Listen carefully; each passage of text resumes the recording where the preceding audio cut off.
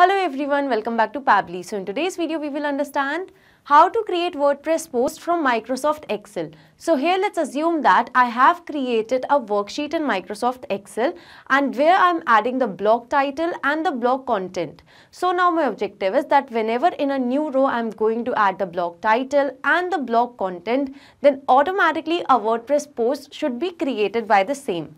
So now to do this I need to build an integration between these two applications for which I will be using this amazing integration and automation software that is Pabbly Connect. So here my trigger application will be Microsoft Excel and my action application will be WordPress. So to learn more about this integration, follow me through the screen.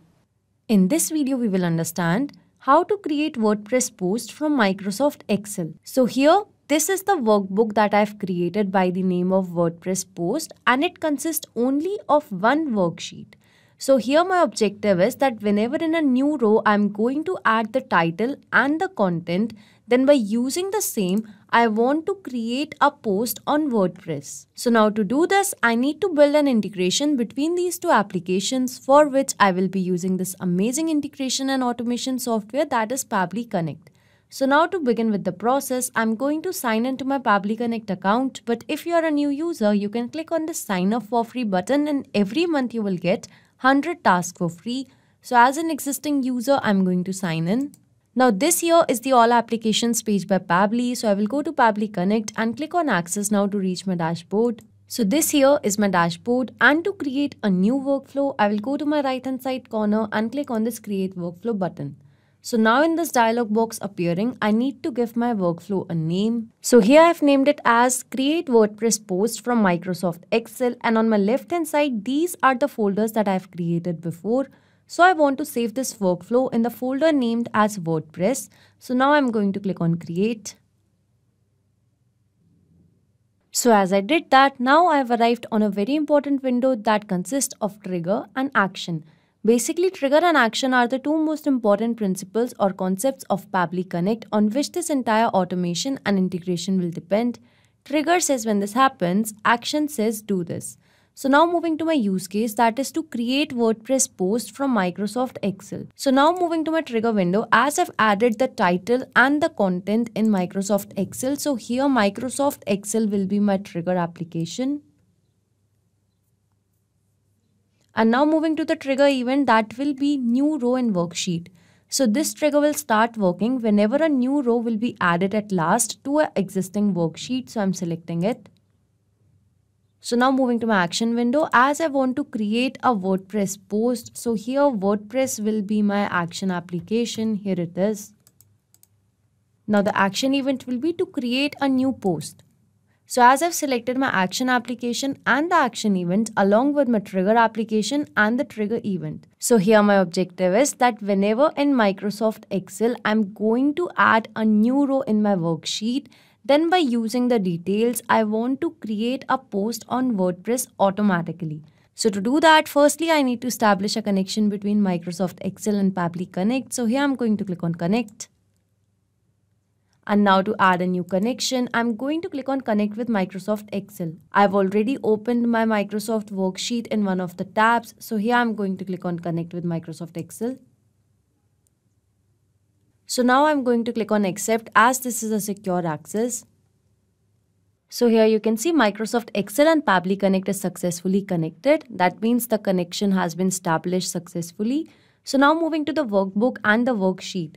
So here my workbook name is WordPress post. So firstly, I'm going to select my workbook as WordPress post. And secondly, it consists only of one worksheet. So here in Pabbly Connect, I'm going to select the workbook as WordPress post. Here it is.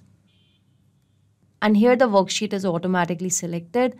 So if there would have been more sheets in this worksheet, then I have to select it from the drop down. But it only consists of one sheet, so it is selected over here. So now if I'm going to click on the save and send test request button, it will get the details of this row automatically. So now to do this, what I'm going to do, I'm going to Pabbly Connect and click on save and send test request. So here I've received a response, the row index is 1 and here is our title that is added in a row and here is the content for the blog. So I've got the details over here successfully. So as I've got the row details over here in Pabbly Connect, that means the first step of this automation is set up. So this means now whenever in a new row, the details will be added, then the details will be captured over here in Pabbly Connect. So this trigger will check for the new data in 8 hours as Microsoft Excel is a polling based application. So our trigger is a polling based one. So as I've got the details over here in the response received, here I've got the title and here I've got the content. So now moving further, as I want to create a WordPress post. So here now firstly I need to establish a connection between WordPress and Pabbly Connect. So here I'm going to click on connect. So now moving to add new connection. Here I need to mention my WordPress username or email along with my WordPress password. And then I need to mention the base URL as well. So here in this URL, this is my base URL. So I will just copy this and here in Pabbly Connect, I'm going to paste the same. I will just remove the slash and now I'm going to enter my WordPress username or email and password to add a new connection. So as I already have an existing connection, I'm going with the same. But to add a new connection, you just have to mention your WordPress username or email along with the password and the base URL. So now I'm going with the existing connection and clicking on save. So here you can see WordPress and Pabbly Connect is successfully connected.